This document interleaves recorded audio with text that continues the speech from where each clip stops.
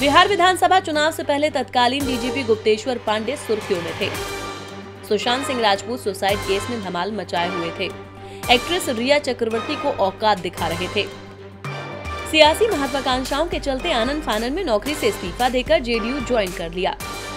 माना जा रहा था कि गुप्तेश्वर पांडे चुनावी मैदान में बक्सर ज़िले के किसी सीट से ताल ठोकते नज़र आएँगे।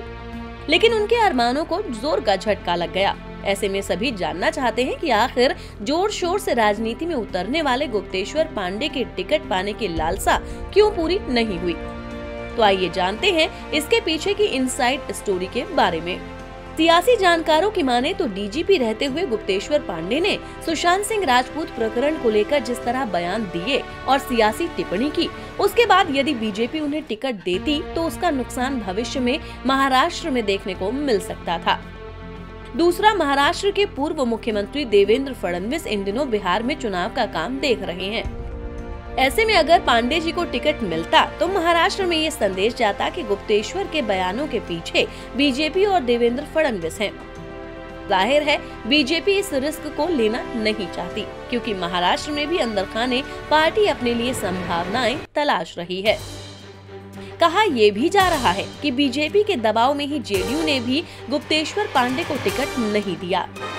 इसी के चलते बदनामी से बचने के लिए ही जेडीयू ने बक्सर की सीट बीजेपी के कोटे में दे दी है।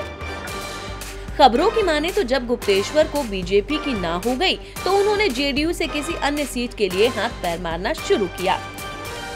लेकिन फ़िलहाल बीजेपी और जेडीयू में उनके लिए पूरी तरह से दरवाजे बंद कर दिए गए हैं। हालाँकि ये पहली बार नहीं है, जब पांडे जी को राजनीति में आने के लालसा को पलीता लगा हो।